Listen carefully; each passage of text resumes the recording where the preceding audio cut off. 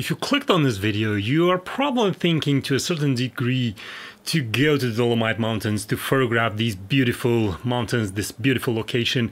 And let me give you a few details about my photo tour from 2019, and maybe I can convince you to join me in this beautiful workshop.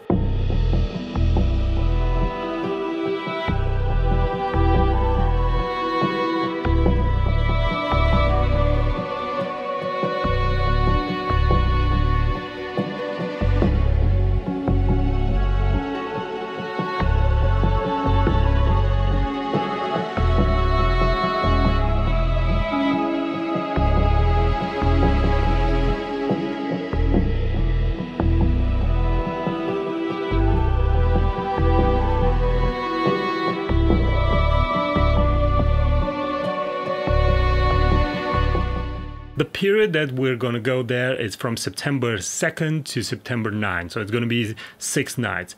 And we're going to be accommodated in the area of Cortina d'Ampezzo. It's a place from where we can easily access the most beautiful and iconic places in the Dolomite Mountains.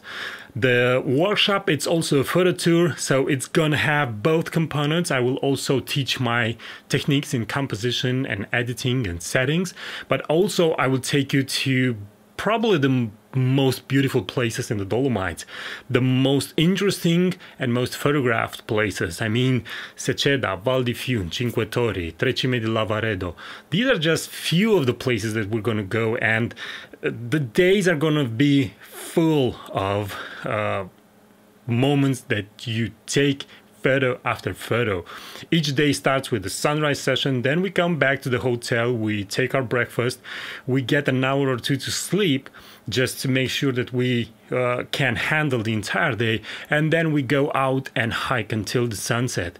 We will also have one or two days when during the day I'm gonna set up uh, an editing session. And that is the moment when you can see how I'm post processing my images, how I'm thinking about it, how I'm planning what I'm gonna do in Photoshop and Lightroom. I think this is the most important thing planning and knowing exactly what you wanna do and then applying and using the software to express your idea and your vision. We're gonna go, as I said, to iconic places, and I'm making sure that we get there at the perfect moment, and the effort is the less possible. And even though I can hike, because this is the job of a landscape photographer, uh, I don't want the participants of my to my workshops to hike a lot. If it's possible to go by car and then by cable uh, on a cable railway and then walk a little bit then that's the perfect setup for me because i want the participants to be rested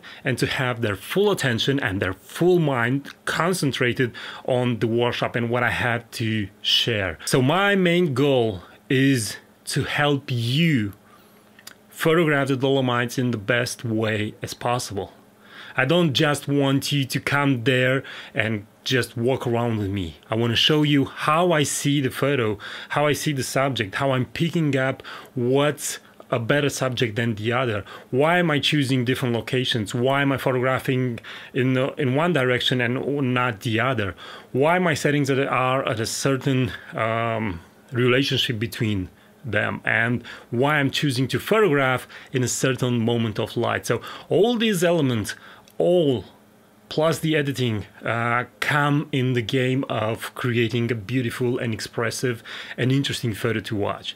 And that is why I think you should join me if you like my photos, if you want to uh, be part of this wonderful adventure that is the Dolomite Mountains, then you can just look in the description of this video, you see the link, you click on it, and then you just enroll and you send me a message and then we talk some more. Again, if you have questions, you can use the comment section below. You can also contact me via email uh, or directly from my website.